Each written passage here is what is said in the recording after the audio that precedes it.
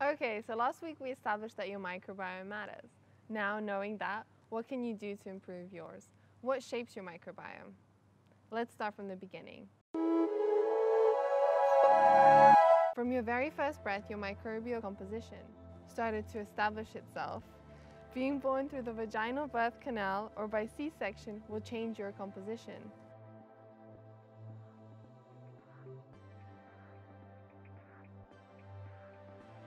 Whether you were breast or formula fed will also support different groups of bacteria.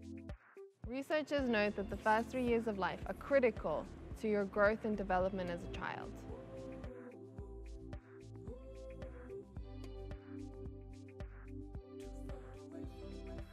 Generally, a stable, healthy microbiome is most supported by being breastfed and born vaginally. For instance, breastfed infants are exposed to the milk microbiota, which actually has over 700 species of microbes.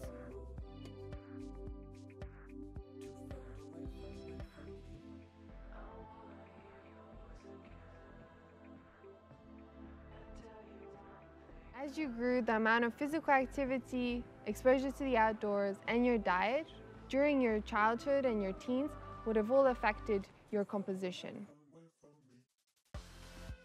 Now, as an adult, the status of your microbiome is surprisingly in your control. Stress, sleep, exercise, your environment, and your diet all shape your microbiome. Let's focus on where you truly have power.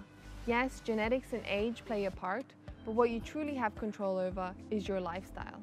Avoiding antibiotics and artificial substances as well as maximizing your diet with rich whole fresh foods rich in prebiotics and probiotics will all support your microbiome. So use your daily habits to embody health every day.